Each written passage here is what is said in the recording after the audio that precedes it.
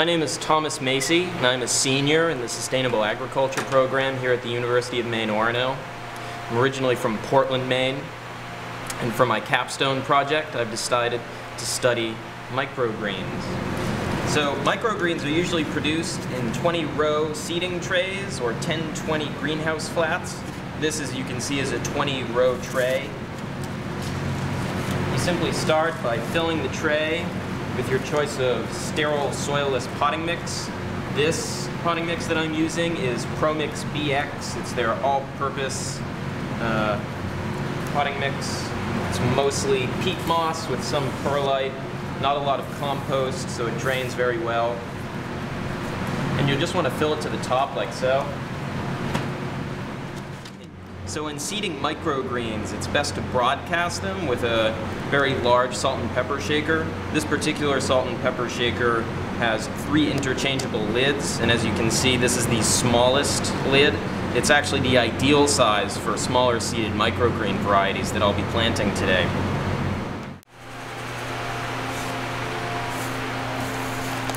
So today we're going to be seeding Johnny's Mild Micro Mix, and it's a blend of milder flavored brassicas, kales, cabbages, that kind of thing.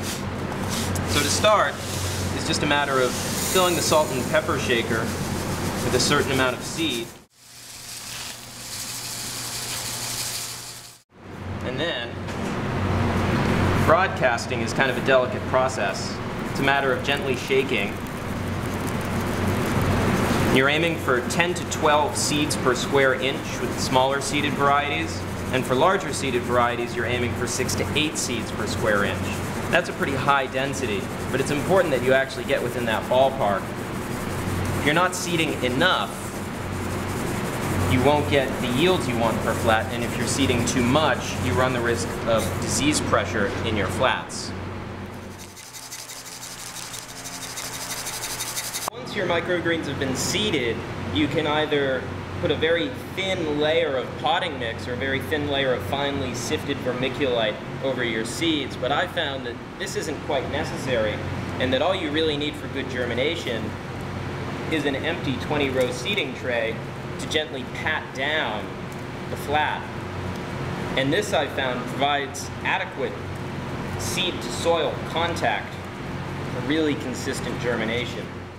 So in watering microgreens, it's very important that you choose a method that doesn't actually damage or cause soil splashing onto the microgreens, this will dirty the final product and just add more labor when it comes to washing. Suggested methods of watering include misting and gentle spraying. And for greenhouse growers with the infrastructure, sub-irrigation is also ideal. After watering in your freshly sowed flats, it's key that you cover your flats with a standard 1020 germination dome. These can be made out of either clear or white plastic. And they fit over the 20 row seeding trays like so.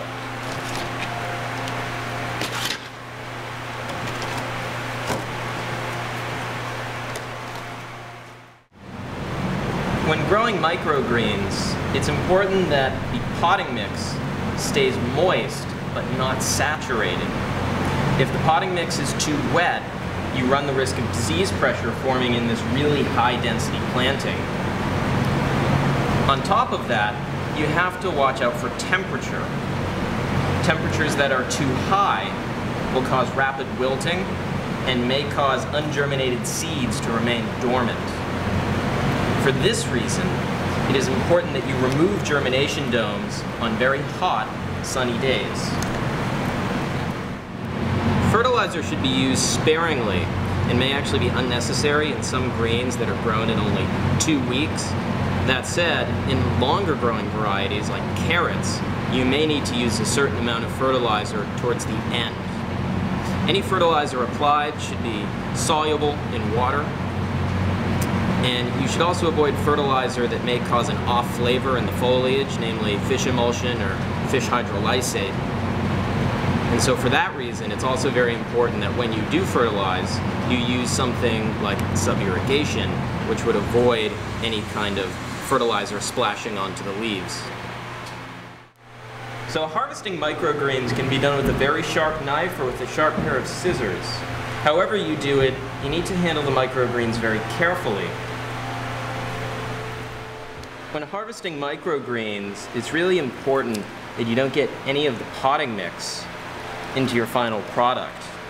Because these are so gentle and so sensitive that when you wash them, you can't really afford to spin them in some kind of heavy salad spinner.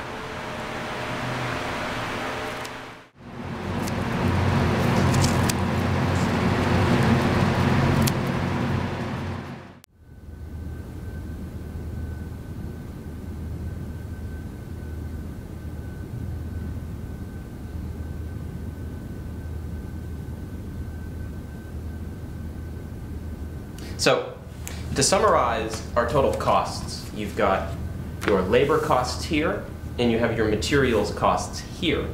All right?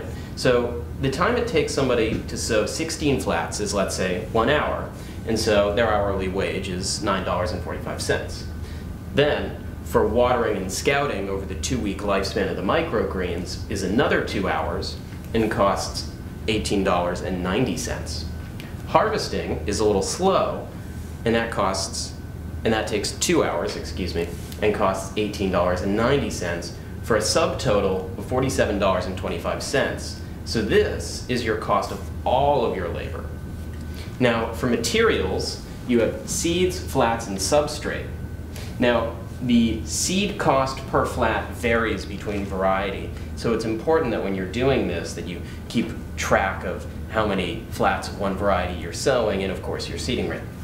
So the total cost of seed for this 16 flat planting is $9.83, while a flat costs 48 cents for a total of $7.68, and then your substrate costs about 32 cents per flat for a total of $5.12. So your subtotal for all of your materials is $22.63 which means that your total cost for this entire planting is $69.88. And that seems really high, but actually your cost per pound is $23.29.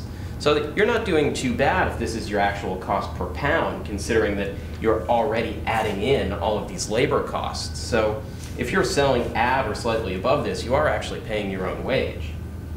In addition, you can also figure out your cost per flat by basically dividing this number by 16, which gives you $4.36. And that's important if you're actually hoping to sell your microgreens by the flat rather than selling them in a hard plastic clamshell.